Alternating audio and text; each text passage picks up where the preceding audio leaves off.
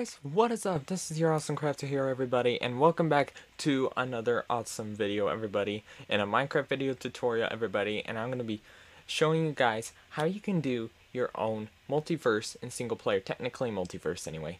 So before we get into this video, I'd like to say please like and subscribe, comment down below for further videos, turn on the notification bells. You'll never know when I'll be uploading more videos in the past like this. This is very awesome guys. Any I noticed that there is a couple more subscribers, so thank you very much, you guys, and welcome aboard to the awesome channel, everybody. Welcome aboard. And as a matter of fact, today I'll also like to discuss a few things before we begin. Also, 97.5% of you have not subscribed to my YouTube channel, so please do so while watching this video, everybody. You can take a moment, pause this video right now, and go ahead and click subscribe and like, everybody.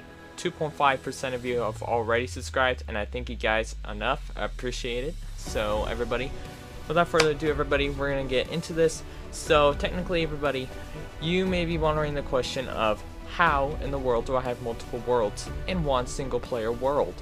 Well, guys, it's actually quite simple and quite easy to do.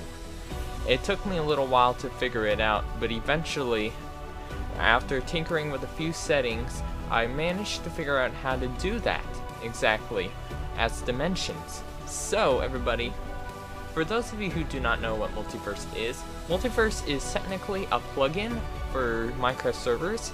Mostly Java uses this stuff, and Bedrock barely even uses that anymore. But uh, Java, definitely Java, most servers like Mineplex, Snapcraft, etc., etc., you know, you get the idea.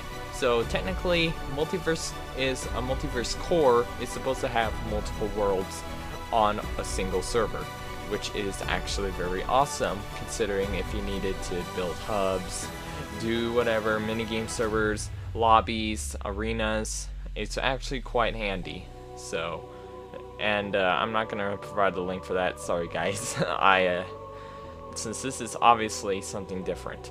So, in today's tutorial, everybody, I'm going to be showing you how to do that for your own single player world. It is actually quite easy and simple. You just follow my lead, everybody, and we will be good to go. Okay, so as you guys can see here, I have my screen open with Minecraft and everything else in it here, so, and as you guys can see on the left here, this is NBT Explorer, so, what you guys saw earlier in those video clips that I showed you for World 1 and World 2 here, which is going to be for these examples here, so you need to create at least two worlds here. So in the minimal, you can have up to many worlds as you want. You can have like a freaking hundred for all I care. So anyway, for each world, what you're gonna need to do, and I'm not recommend like putting 100 worlds in one world probably because it might crash your game. But anyway, so what you need to do also obviously is create two worlds you can have whatever you want in it. I already have two buildings, obviously, two structures. So after you get all that handled, you're going to open a program called NBT Explorer. Link in the description, you guys. You can download it off. You can download it and use it on offline. So this is technically a world editor for all the files and everything, the basics of Minecraft, game rules, cheats, settings, all that good stuff here. So what you need to do here is that you need to go into the World 2 folder, level.dat, this is very important, so level.dat data, and this is where you're gonna find the dimensions. So world gen settings, we're gonna expand that, dimensions, this is very important, because this is where all, everything, this is where the magic happens, you guys. So you need to copy overworld, so we're gonna copy that, then we're gonna go here, world 1, which is your main world. And then we're to go to date. Don't choose level.dat old because that is old and it will get deleted. So don't choose that. So world gen settings, go to the same place, dimensions. Then we're to click on dimensions and we're to paste it. Okay, so it'll show up with copy one. We're gonna we're not gonna need that at the moment. I have to drag this window over here real quick because for some reason the NBT Explorer doesn't show the small dialogue here. So here you go. So I'll drag it over here. So this is what it's going to look like here. So it's going to show up with a dialogue called edit name. So we're going to keep the Minecraft. So keep the Minecraft. Name it whatever you want. I'm going to just call it World 2. We're gonna click OK. Then, what we're gonna do after that, I'm gonna drag this back over here. We're gonna click Save. Then we're gonna go here into our Minecraft. We're gonna load up World 1. It might take us a moment.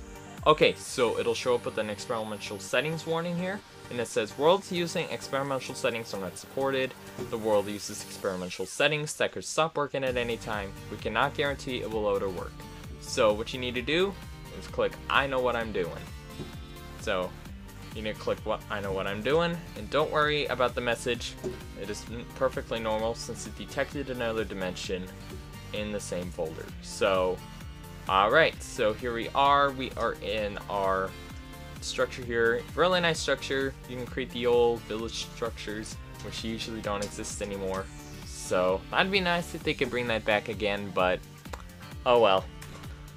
It is what it is. Okay, so what you need to do now, you need to type in slash execute in. It'll show a new world here. As you guys can see, a new dimension called world 2.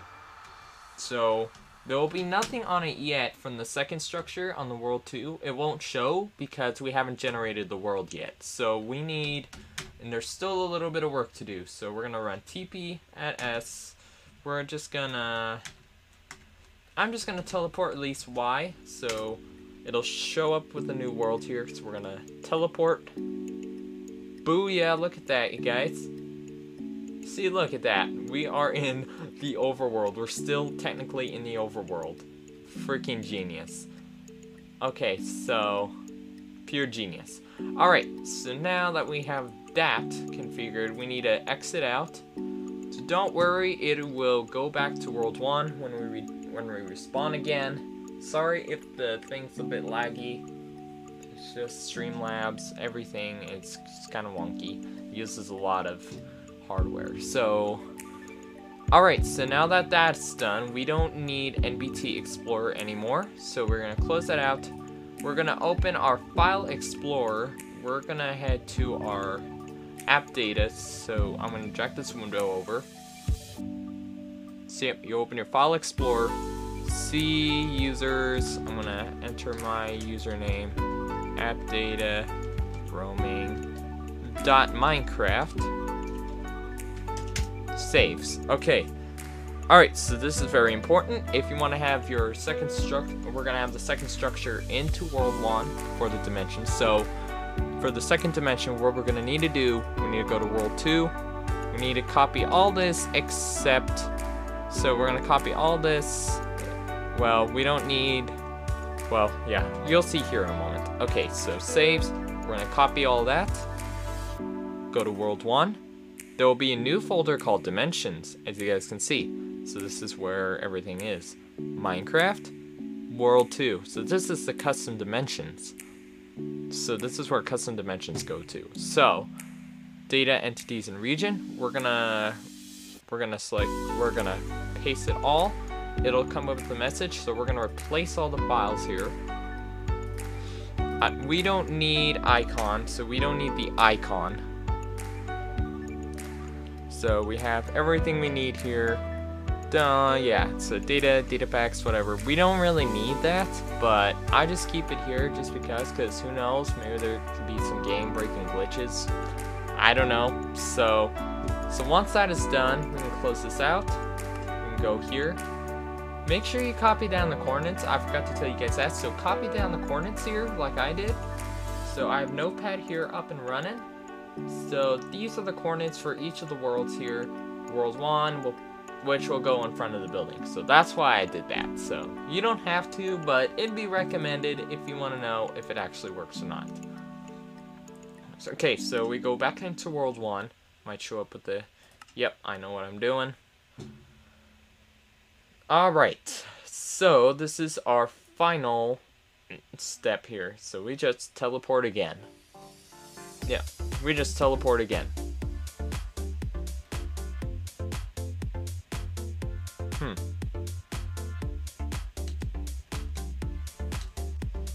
Yeah, okay. Okay, so we go back into execute and overworld run, we're gonna go back into 108, 70, 0. We're gonna go back into World 1. Okay, so we loaded up on the first dimension. I hope it actually loaded up for World 2.